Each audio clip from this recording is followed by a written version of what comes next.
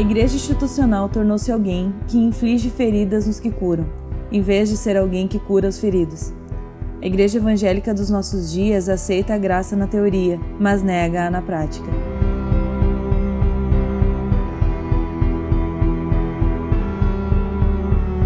Dizemos acreditar que a estrutura mais fundamental da realidade é a graça, não as obras.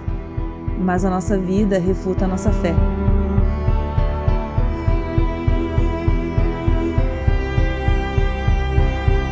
De modo geral, o Evangelho da Graça não é proclamado, nem compreendido, nem vivido. Um número grande demais de cristãos vive na casa do temor e não na casa do amor. Nossa cultura tornou a palavra graça impossível de compreender.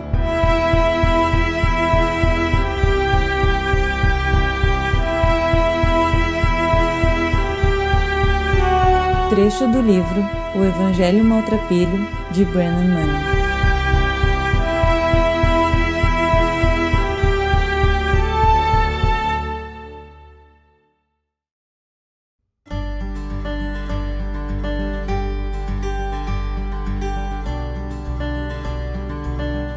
Falar sobre religião nos dias de hoje, com certeza é um assunto interessante, porque o que nós temos visto e temos percebido, a religião tem sido um lugar ou tem feito com que as pessoas se sintam muitas vezes coagidas a agir dentro de um legalismo, dentro de um sistema que muitas vezes traz muito mais a mentalidade de escravidão, essa mentalidade de pessoas que precisam estar obedecendo regras, seguindo sistemas e trazendo assim para o coração das pessoas muito mais sofrimento, muito mais angústias e não trazendo palavras que possam transformar a sua vida.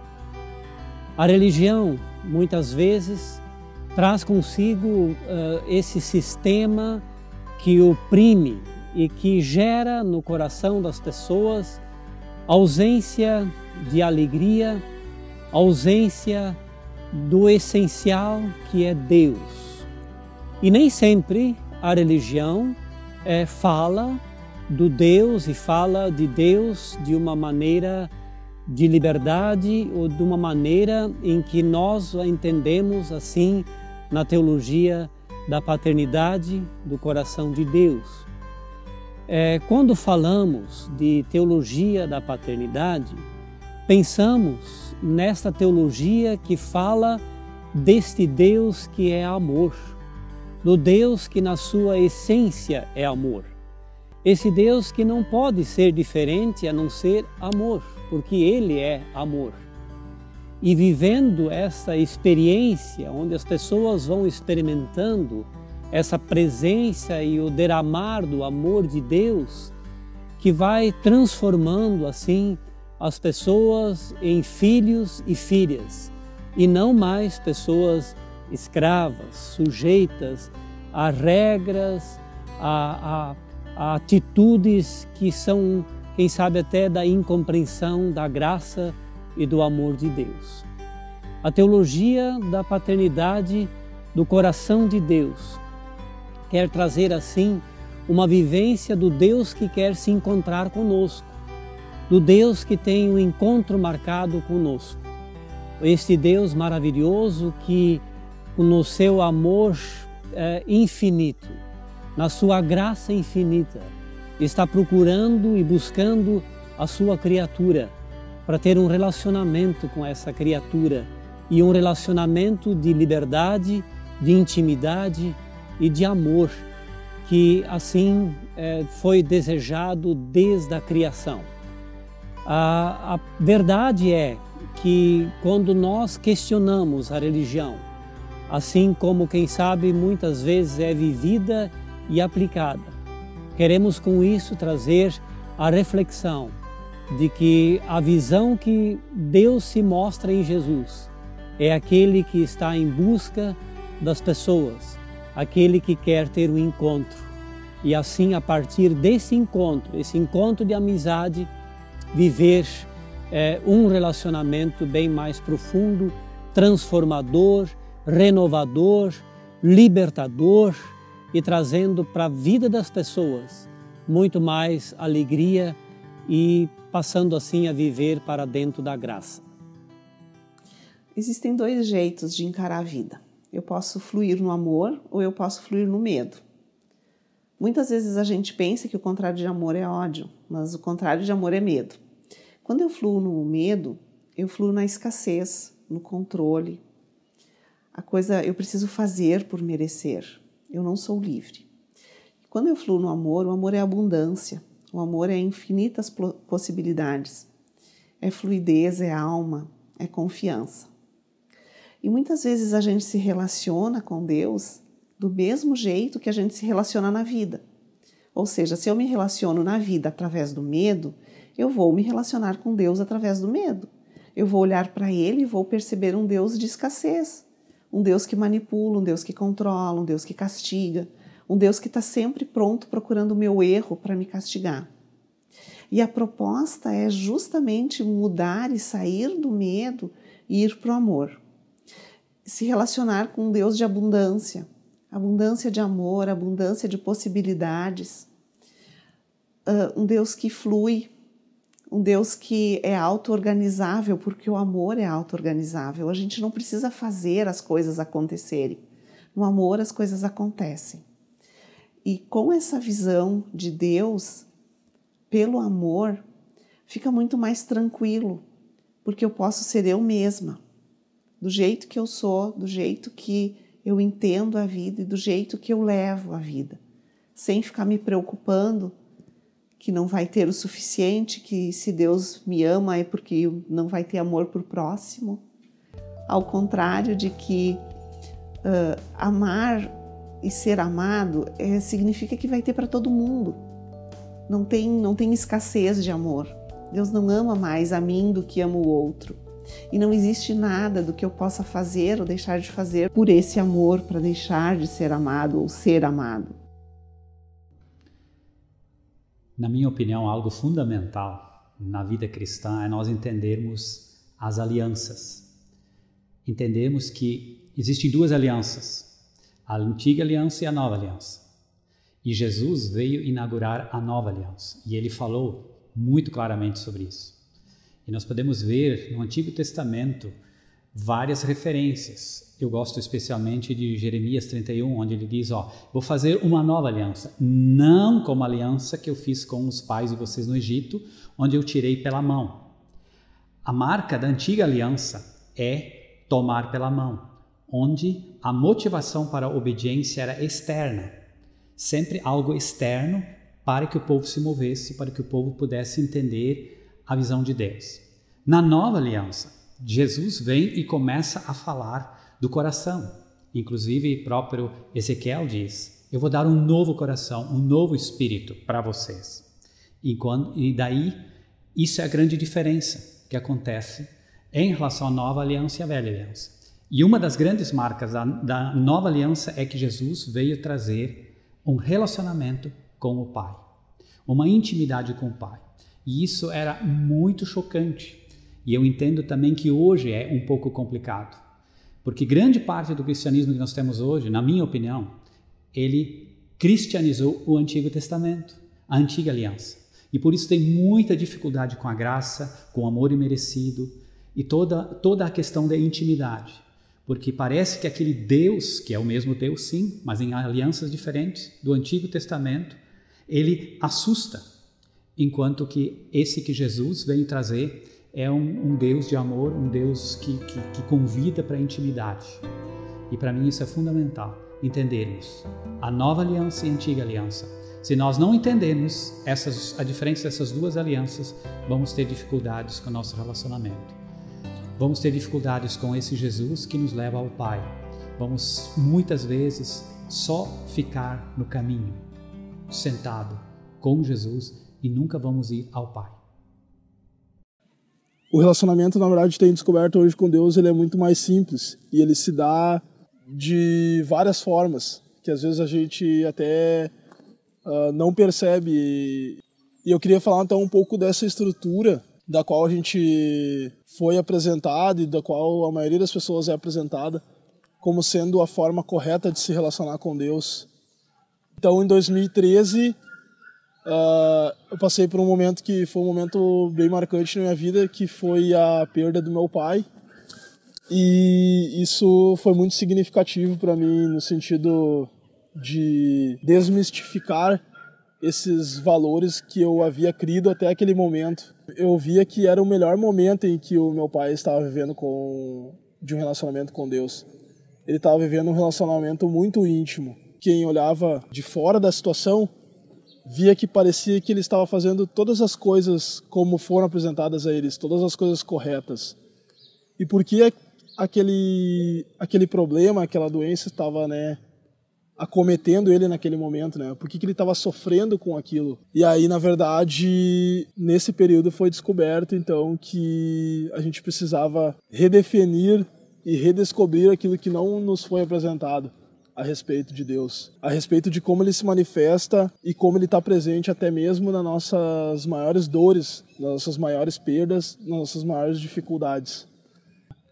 Eu tive duas escolhas naquele período ou me fechava para o relacionamento com Deus e ficava com a minha frustração, com a minha amargura, com a minha tristeza e com a minha dor interna, ou eu me abria para esse relacionamento para redescobrir aquilo que eu não havia conhecido sobre o caráter de Deus, sobre uma maneira uh, sadia de se relacionar com Ele. E foi o que eu fiz.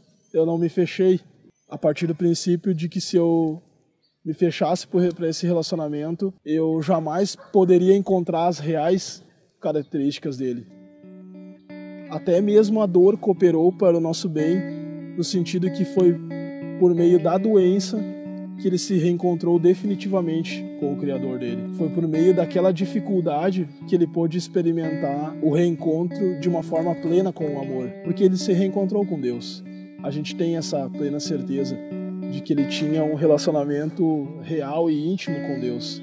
Ele estava pronto, ele estava em paz, havia paz no espírito dele, porque ele de fato havia encontrado as verdadeiras características de Deus. Ele tinha de fato encontrado uma estrutura sadia, uma estrutura que expressava amor por ele, né? Palavra nos fala que do coração procedem as fontes para a vida. Muitos corações hoje em dia eles estão doentes, estão precisando da cura de Deus. E um coração ferido, um coração machucado, ele machuca outras pessoas. A vida começa a não ter sentido e entra a depressão, entra tristezas, entra o pior talvez do ser humano. Mas quando Deus vem no coração da pessoa, é ali que muda. É no interior da gente que há transformação. E eu tenho visto que um coração sarado, um coração que alegra o rosto, é um coração que tem esse amor de Deus no coração. É esse amor que cura corações, cura as feridas do coração. É esse amor que eu quero falar para ti nesse dia. Esse amor de Deus que é um Deus não só de aparências, um Deus virtual, mas um Deus real e vivo, que a gente pode experimentar. E quando Ele vem nas nossas vidas, a gente deixa Ele tocar o nosso coração, começa a haver mudanças dentro do nosso coração. E ali começa a acontecer as curas que Ele tem para cada ser humano. Isso não é para alguns, é para todos seres humanos. Porque quando nós temos um coração sarado, um coração curado, nós podemos alcançar outras pessoas e responder em amor para as pessoas. E é Deus que faz essa parte. Nenhum ser humano consegue curar o coração. Somente Deus consegue curar, porque Ele nos fez e Ele nos conhece. E Ele te conhece no mais íntimo. Quando nós somos tocados e temos esse amor de Deus dentro de nós, aí nosso amor transborda para com os outros. E aí a gente é aquela fonte. Uma fonte que realmente espalha o amor de Deus para onde quer que vai. E começa a ter uma paz dentro de nós que ninguém consegue explicar. Mas é esse amor de Deus que mora dentro do ser humano, esse Deus que quer morar dentro de mim, que quer morar dentro de você, porque Ele te ama. E nenhum ser humano vai te amar como esse Deus te ama. E aí, com esse amor, nós somos sarados e curados e somos transformados. E é esse Deus que tem tocado a minha vida. Obrigado. Cara, eu sempre fui contra a igreja, sempre tive aversão à igreja. E, cara, quando eu era novo, eu tinha uns 18 anos, eu, eu descobri que eu estava com câncer. E o câncer que eu tinha, ele era bem avançado. Já estava por todo o meu corpo. E algumas pessoas diziam, cara, dessa aí ele não vai sair. Uh, tinha gente já chorando, um luto, sem eu ter morrido, de fato. E, uh, e o meu compadre, ele dizia o seguinte, cara, eu sei que tu vai ser curado e tu ainda vai dar testemunho disso. E, cara, eu não era cristão, eu não ia, não frequentava nenhuma igreja e de fato eu fui curado. Ele me convidou para ir num culto e nesse culto tinha uma pessoa que tinha passado por um momento parecido com o meu. E, cara, isso começou a me comover, começou a me tocar. E eu, na, no meu lugar, naquele banco, que é só um lugar, porque igreja tu olha, é quatro paredes, é um prédio como outro qualquer, só que a diferença é que lá tem uma pessoa. E nesse dia eu fui conhecer essa pessoa. Eu comecei a chorar no meu banco, estava ali sentado sem saber o porquê. A pessoa que estava lá na frente falando para nós, pregando, ela disse: "Cara, tem uma pessoa aqui que precisa vir aqui. Precisa conhecer quem é Jesus". E eu sabia que era eu. Não sei como, mas eu sabia que era eu. Então eu me levantei do meu lugar, fui lá na frente. Eu senti um peso sobre mim, eu me ajoelhei no chão, comecei a chorar mas não era um choro qualquer, eu chorava, eu uivava, eu dava soco no chão, de tamanha dor, pareciam que estavam arrancando alguma coisa de mim. E nesse momento eu não entendia nada de igreja e eu perguntei uma coisa para aquele que eles falaram que estava ali, que era Jesus. Eu perguntei, Jesus, se tu realmente é real, cara. Quando eu estava doente e estava sozinho, deitado no sofá, sem ninguém, porque eu falava que eu não queria ver ninguém, que eu estava morrendo. Eu perguntei para Jesus aonde ele estava. E eu perguntei para mim, cara, no meu pensamento ali, e quando eu vejo a pastora se aproxima de mim, ela fala uns negócios estranhos, eu falei, eu não entendi nada. Ela vem e fala de novo no meu ouvido, como se fosse ele falando. Eu estava todo o tempo do lado no sofá. Cara, e ali foi um, um divisor para mim. E aquele dia eu conheci de fato Jesus. E ele transformou a minha vida. Ele transformou a minha vida de uma forma, cara, que eu, eu não, não, não, não consigo falar. Eu era, era eu antes de conhecer ele e sou eu agora, depois que eu o conheço.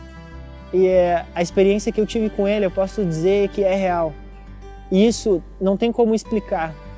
Por isso que às vezes as pessoas pegam e falam Tá, mas será que Deus existe? Mas e isso, e isso, e aquela outra questão? Cara, tu só vai realmente saber quando tu viver. Quando tu tiver uma experiência com Ele e conhecer aquele que está por trás da igreja, que é Jesus Cristo. E Ele é real. Ele é real, Ele mudou a minha vida e se apresentou de uma forma como um amigo, como um irmão, como um melhor amigo para mim. E eu sei que Parece clichê, né? Falar ah, Jesus vai mudar a tua vida, porque todo mundo fala isso. Mas quando tu permitir se conhecer, quando tu permitir uh, que ele realmente te conheça, que tu conheça ele, realmente vai mudar. Isso eu posso ter certeza porque a minha vida foi assim. Partimos do princípio de que a essência de Deus é amor. E se essa essência de Deus, que é amor, esse amor de Deus é derramado e quer ser derramado para cima dos seus filhos. E aí nós passamos a viver e a entender que a verdadeira intimidade e o verdadeiro relacionamento acontece quando, quando nós temos esse relacionamento de pai para filho. O nosso Deus é um Deus apaixonado, um Deus que vai atrás dos seus filhos e que diz lá em Gênesis: Adão, aonde estás? E esse desejo de Deus, essa busca de Deus, é para que os seus filhos venham até Ele e tenham esse momento e tenham um tempo de, de relacionamento e de intimidade com Ele. E esse é o lugar seguro, onde nós conseguimos nos sentir seguros, amparados e acolhidos nesse grande abraço de intimidade e de relacionamento. Quando entendemos isso, quando conseguimos perceber isso, é importante saber que a verdadeira religião, então, o verdadeiro sentido da fé é essa de se sentir e estar acolhido no abraço do Pai. E enquanto nós não experimentarmos isso, vamos continuar sendo escravos de sistemas, escravos de situações, escravos de regras, de legalismos e de sistemas que na realidade não nos transformam, trazem um, um peso cada vez maior sobre a nossa vida. Que a vida e a ternura da intimidade com o Pai faça e pode fazer de nós como filhos e filhas é isso que entendemos como teologia da paternidade, que a intimidade seja então a base fundamental para se viver de uma maneira livre e espontânea. Uma das passagens que mais chama a minha atenção a respeito de um amor de um pai, de um Deus que vai além da religião, que vai além da religiosidade, é a passagem do filho pródigo, que na verdade, para mim, deveria se chamar Deus pródigo. Por quê? Porque pródigo significa esbanjador. E o que o pai faz quando ele recebe o seu filho nada mais é do que esbanjar o seu amor pelo filho. Que o que o filho fez? O filho pediu a sua herança antes de o pai morrer. Ou seja, o filho estava dizendo: Eu quero que você morra. Porque o único jeito de alguém receber uma herança é quando o pai morre. Então o filho já estava querendo é, antecipar isso. E o que ele faz? Ele vai para terras distantes, sabe por quê? Porque, de acordo com a lei da época, quando você matava, você devia morrer. Olho por olho, dente por dente. E quando o filho pedia herança antes de o pai morrer, significava que ele queria o pai morto. Então, o filho vai para terras distantes porque todos os vizinhos que soubessem disso teriam direito de matar, de apedrejar esse filho, porque ele matou o seu pai. Então ele deveria ser morto. Por isso que ele vai para terras distantes. E quando ele volta, a palavra fala que o seu pai corre ao seu encontro. Um senhor de idade naquela época, para correr, eles usavam túnicas. Então ele precisava levantar suas vestes e expor toda a sua vergonha, toda a sua idade. Porque nas pernas dele estava mostrando o quanto ele era velho. E, e o pai faz isso e corre ao encontro do filho. E quando ele encontra o filho, o incrível é que a palavra fala que o pai primeiro o abraça e depois o beija. Isso é engraçado porque o contexto da época era primeiro beijar alguém e depois abraçar. Mas então por que está falando que ele primeiro abraçou e depois beijou? Por quê? Quando um escravo cumprimentava o seu senhor, ele beijava os seus pés.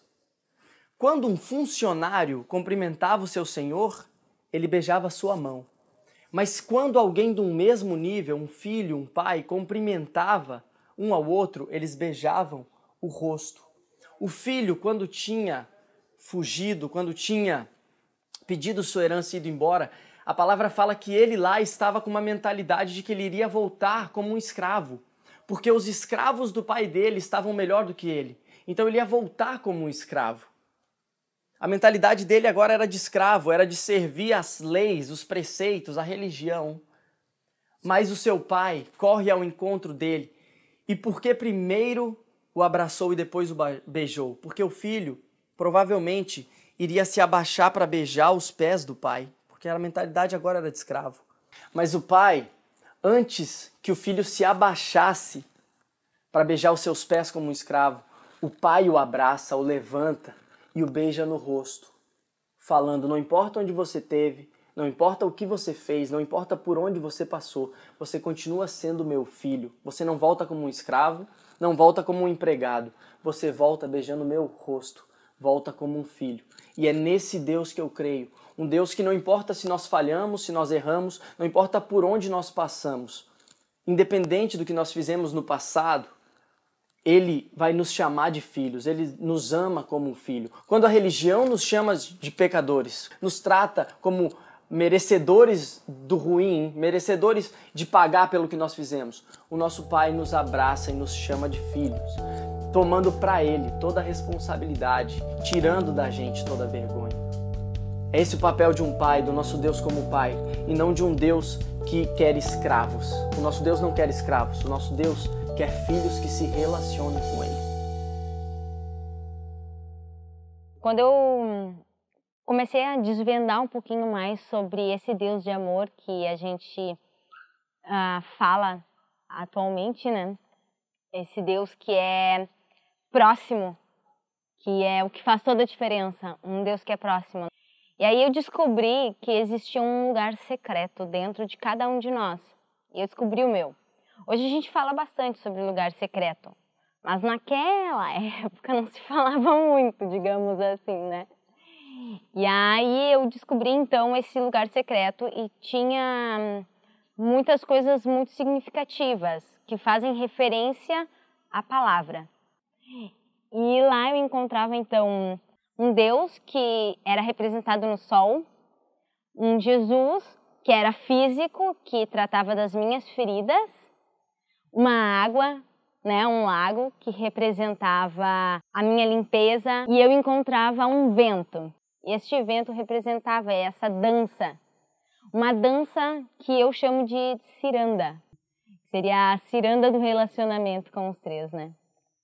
No meio de, de, desse lugar secreto que eu encontrei dentro de mim, eu, no início eu não queria sair de lá. Foi uma meta que eu tinha de me relacionar com em silêncio. Eu não falaria uma palavra, eu não ia ler a Bíblia, nem livro, nem nada. Eu ia ficar em silêncio no meu quarto, meditando, escutando uma musiquinha de soaking. E durante, no mínimo, uma hora e meia. E eu fiz isso durante um ano. Isso foi bem legal. Porque lá a gente teve encontros totalmente especiais, que foram curadores. Muito curadores.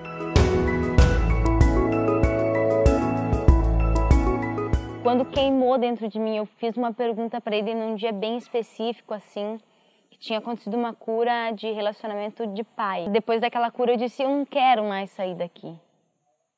Me deixa ficar aqui para sempre. Aí eu senti como se ele estivesse dizendo, eu estou lá. Eu estou sempre onde você está. E você pode aprender a se relacionar comigo lá no teu mundo. Porque eu estou dentro de ti.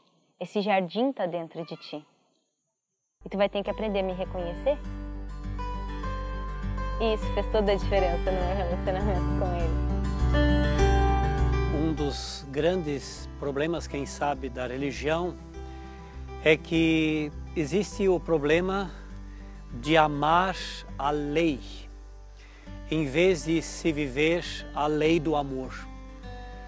Amar a lei gera legalismos, gera com certeza uma situação de, de intimidação, gera culpa excessiva, trazendo culpa sobre culpa, gerando assim nas pessoas medo e fazendo com que as pessoas vivam um relacionamento com Deus na base de barganha, de desempenho, e realizando algo para conseguir, quem sabe com umas atitudes, com sua ação, conquistar o amor de Deus.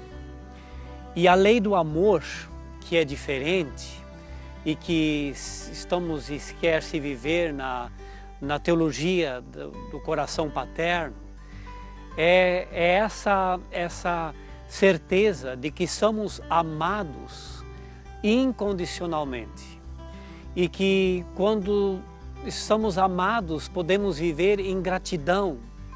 Não que agora temos liberdade para fazer o que a gente deseja, o que a gente quer, mas agora somos desafiados a viver em gratidão. Somos amados, somos filhos amados, temos a nossa identidade como filhos e podemos viver então em serviço como nossa função, como nossa missão, estar servindo e ajudando as pessoas. e não se engessando numa lei que mata, que destrói, mas nessa lei do amor que liberta e que transforma o coração. Quando experimentamos e, e vivenciamos esta diferença, é importante ressaltar isto, que a teologia da paternidade do coração insiste nisso, de que vamos viver a partir do amor de Deus e não a partir de algum, algum fator externo de intimidação, de, de culpa excessiva e que vai causar medo e trazer medo em nosso coração para agirmos assim. E a lei que comanda, a lei do amor, ela transforma para a liberdade de filhos e filhas em intimidade num relacionamento de comunhão com o Pai e com os demais irmãos e irmãs. Muito importante entendermos, como igreja, a estação em que estamos. Assim como o ano tem estações, a igreja também passa por estações. E às vezes nós temos dificuldade de entender isso, que existem estações. E se entende que a estação da igreja mudou. Mas se nós estamos hoje numa estação, é por causa da outra estação. Não dá para viver uma estação sem a outra. Então, respeitando todas as estações, cada uma tem a sua, a, o seu tempo, tem a sua qualidade, tem as suas virtudes, tem os seus perigos, tem as suas dificuldades. E é importante nós, como igreja, entendermos que estação estamos hoje, porque às vezes nós vivemos na outra estação ou tentamos forçar a outra estação e aquela estação passou. Nas últimas décadas tem se falado que a estação da igreja mudou, transicionou para a estação da filiação onde a visão de Deus como Pai se revelou muito mais profundamente e muito, muito mais claro. E às vezes, por não se entender isso, se tem dificuldade de viver esse tempo. E às vezes as estações mudam não porque a gente quer, mas porque ela muda. Então é muito importante entendermos isso, para realmente vivermos toda a plenitude de tempo. Uma das marcas dessa, dessa estação e a marca da nova aliança é que mudou o lugar da fonte. A fonte antes era sempre buscada lá de fora, por exemplo, a fonte de Jacó. E Jesus disse: Eu vou dar água da vida, essa água que corre do interior. Então, interessante nós entendermos isso. Que Jesus compartilha conosco agora a água viva do Pai dele, que é o nosso Pai também. Tem identificado que muitas pessoas possuem bons princípios ou possuem maus princípios. E os princípios nada mais são do que os nossos valores ou aquilo que a gente uh, zela, aquilo que a gente tem como valor para a vida. E no meio disso tudo, eu tenho me relacionado e buscado me relacionar mais profundamente com Deus a partir das verdades que Cristo tem me revelado, não só através da leitura bíblica, mas através eh, de livros que ele revela o amor dele, através de, do relacionamento com outras pessoas, também de daquilo que ele fala no meu interior, da voz dele falando no meu interior. Essas são verdades que para mim passaram a ser verdades porque eu experimentei elas essas verdades a partir do relacionamento com Deus. E aí, no meio disso tudo, do mundo atual, do mundo contemporâneo que a gente vive, com tantas diferenças e com tantas maneiras de crer ou maneiras de se relacionar com Deus, com tantas religiões, com tantas com tanta diversidade de cultura, diversidade de língua, opiniões e posicionamentos a respeito da própria sociedade, posicionamentos políticos, a diversidade de escolha sexual. Eu tenho buscado no meio disso tudo um ponto de equilíbrio que passa pelo que eu recebi como princípio, como valor cultural familiar, as verdades que eu tenho recebido intimamente desse relacionamento com Deus, o respeito pelas pessoas que têm se relacionado comigo e não creem da mesma forma, ou não veem Deus da mesma forma, ou não veem a própria vida da mesma forma. Uh, independente do, dos princípios que a gente tem, da fé que a gente professa, o mais importante é a gente se manter conectado em relacionamento um com o outro. Porque no final das contas todos nós somos pessoas, todos nós carecemos de, de um amor, de algo que nos complete mais profundamente. Eu tenho encontrado isso no relacionamento com Jesus, no relacionamento com Deus. Eu tenho encontrado isso no meu relacionamento com as pessoas. Outras pessoas têm encontrado de outras maneiras, mas o, o interessante é sempre manter esse vínculo de relacionamento baseado no respeito. O respeito é aquilo que me mantém conectado com o coração da outra pessoa. O Abba Pai nos criou de uma maneira certa, ou quem sabe com esse desejo de sermos seus filhos. E isso é uma questão de identidade. E quando vivemos na identidade como filhos amados, estamos livres de nós mesmos, livres de muitos sistemas e de muitas leis e regras para poder viver na realidade como filhos e filhas.